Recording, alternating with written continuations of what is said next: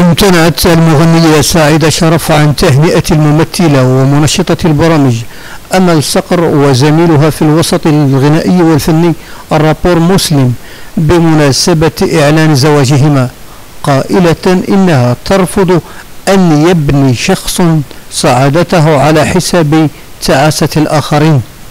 ورفضت شرف خلال تصريح صحفي في بدء الأمر التعليق على الزواج قبل أن تورد بالقول إن الزواج حلال والشرع أعطى للرجل حق الزواج بأربعة شريطة أن يكون عادلا معهن إلا أنه مبني السعادة على حساب الآخرين.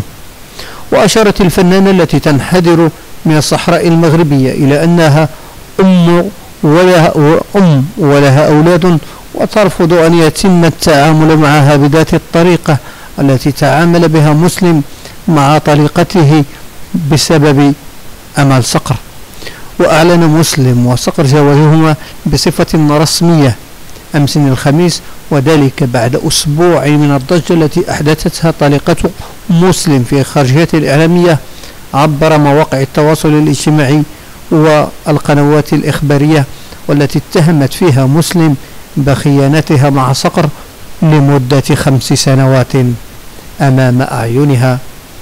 وهو لم يحرك ساكنا.